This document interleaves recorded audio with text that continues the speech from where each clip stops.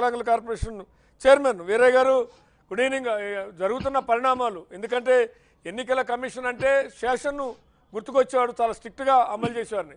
కానీ ఎన్నికల కమిషన్ కూడా నిర్లిప్తంగా నిమ్మకు నీరెత్తటిగా ఉందా? ఇంతటి విద్వేష భావజాలం దేశంలో ప్రజ్వరిల్లుతుంది ఎన్నికల సందర్భంగా. ఇది ఇప్పటివరకే పరిమితం అవుతుందా రేపు భవిష్యత్తులో అది ఒక దావానంలాగా రాసుకుంటే అది ఎటుదారి తీస్తుంది అనేటువంటి ఆందోళన ఎన్నికల కమిషన్కో రాజకీయ నాయకులకో లేదేమో కానీ సాధారణ ప్రజలకైతే కొంత ఆందోళన కలిగిస్తుంది. మీరేమంటారు?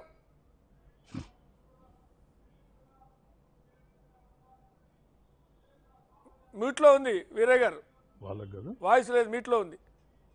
డెబ్బై సంవత్సరాలకు పైగా భారతదేశంలో ఎన్నికలు జరుగుతూ ఉన్నాయి.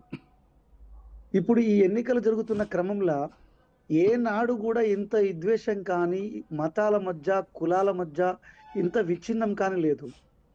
ఇప్పుడు ఒక గ్రామం తీసుకుంటే ఆ గ్రామంలో పోతే అన్ని కులాలు ఉంటాయి అన్ని మతాలు ఉంటాయి వాళ్ళందరూ అన్ని పండుగలు కలిసే జరుపుకుంటారు.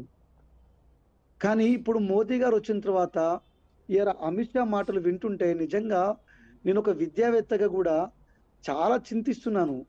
ఇప్పుడు ఈరోజు ఎన్నికల కోసం నువ్వు ఓట్ల కోసం నువ్వు అధికారం రావడం కోసము ఇలా మతాల మధ్య నువ్వు చిచ్చు పెడుతున్నావు. అంటే ఆ బీజాన్ని నాడుతున్నావు. ఆ చిచ్చు ఆ బీజము ఆ విత్తనం అయ్యి అది పెరిగి పెద్ద అయితే రెండు మీరు ఇంతకు ముందు అన్నట్లు రెండు మతాల మధ్య కానీ రెండు వర్గాల మధ్య కానీ అది గొడవగా మారితే ఒక ప్రాంతం నుంచి ఇంకో ప్రాంతానికి అది ఎగబాకితే ఎంత నష్టం వాటిల్లుతుంది. ఇంతకు ముందు లెక్క ఇప్పుడు లేదండి. ఇప్పుడు అంతా సోషల్ మీడియా వ్యవస్థ వచ్చింది. సోషల్ మీడియా వ్యవస్థలో కూడా ఎప్పుడెప్పుడో జరిగిన సంఘటనలు ఎక్కడెక్కడో జరిగిన సంఘటనలు ఏ వేరే దేశాల్లో జరిగిన సంఘటనలు కూడా ఇక్కడ దేశంలో ఎన్నికల టైంలో పోస్ట్ చేస్తున్నారు. అంటే ఒక మత విద్వేషాన్ని రెచ్చగొడుతున్నారు. ఇప్పుడు పదేళ్ళ సంధి ప్రధానిగా ఉన్నారు కదా. పదేళ్ళ సంధి ప్రధానిగా ఉన్నప్పుడు నువ్వు పదేళ్ళలో ఏం చేసావు ఏం అభివృద్ధి చేసావు ఒక హాస్పిటాలిటీ ఎలా వైద్య రంగంలో ఏం చేసావు శస్త్ర సాంకేతిక రంగంలో ఏం చేసావు అసలు ఈ వ్యవసాయంలో నువ్వేం చేసావు విద్యలో నువ్వేం చేసావు అంతకుముందు ఉండే ముందు ఎలా ఉండేది? నువ్వు వచ్చిన తర్వాత ఏం మార్పు జరిగింది? ఈ పదేండ్ల ప్రగతిని నువ్వు ముందు పెట్టి ఇప్పుడు రాబోయే ఒకవేళ నేను మళ్ళా వస్తే ఏం చేస్తావనే అంశం పోయింది ఇక్కడ. అంటే గత పది సంవత్సరాలు మోదీ ప్రధాని అన్న విషయం మర్చిపోతున్నాడు. గత పది సంవత్సరాలు బీజేపీ పాలించిందన్న విషయం కూడా మర్చిపోతున్నారు. నువ్వు ఏం చేస్తావు ఏం చేస్తావు? ఏం చేసి ఓట్లు అడుగుతావు? ఇప్పుడు ప్రజలు అంటున్నాము. ప్రజలు అన్నప్పుడు అందులో అన్ని మతాలు ఉన్నాయి అన్ని కులాలు ఉన్నాయి కదా. దాన్ని మతాల వారిగా విచ్ఛిన్నం చేయడం మాత్రం విద్వేషం అండి. ఎలక్షన్ కమిషన్ అసలుకి చాలా సీరియస్గా స్పందించాల్సిన అవసరం ఉంది. ఎలక్షన్ కమిషన్ కూడా నిమ్మకు నీరెత్త నీరెత్తినట్లు ఉండడం కూడా కరెక్ట్ కాదు. దేశ భవిష్యత్తుకు కూడా ఇది కరెక్ట్ కాదు. ఇవాళ కాంగ్రెస్ చూడండి.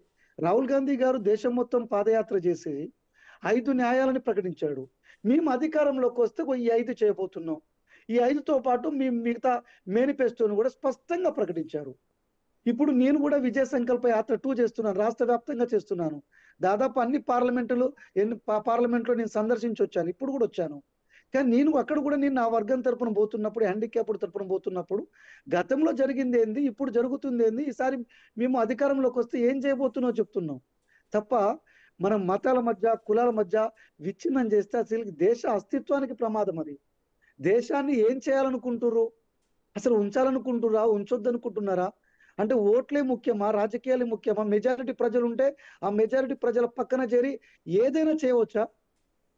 అసలు మోదీకి ప్రధానిగా కొనసాగే హక్కు అసలు లేదండి అసలుకి బీజేపీ బీజేపీ ఎన్నికల్లో ఉండే హక్కు కూడా లేదు.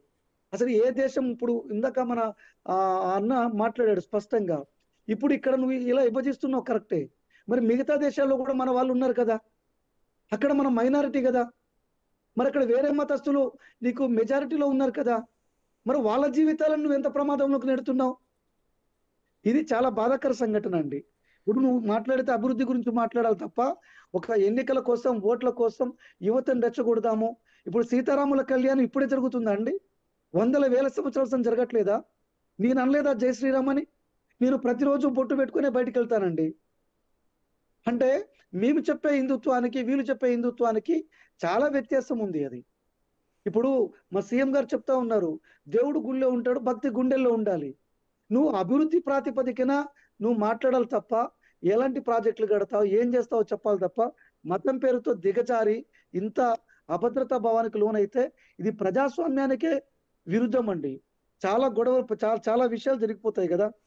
అంటే యాదవరెడ్డి గారు మీరు కూడా వస్తా వీరయ్య గారు మీ దగ్గరికి. అంటే కోడ్ ఆఫ్ కండక్ట్ అని ఒకటి ఉంటుంది. హేట్ స్పీచెస్ అనేవి ఏవి హేట్ స్పీచెస్ ఏవి పబ్లిక్ని అపీల్ చేసే స్పీచెస్ అనేవి ఉంటాయి. అవి ఆ పారామీటర్స్ ఏమి ఎలక్షన్ కమిషన్కి తెలియదా అంటే తెలిసి ఊరుకుంటున్నట్ట? ఇక ఏమి మాట్లాడాలి? మతం గురించి కులం గురించి మాట్లాడచ్చా? మాట్లాడకూడదా? మాట్లాడితే దాని లిమిటేషన్ ఏంటని ఉంటుందా? ఉండదా?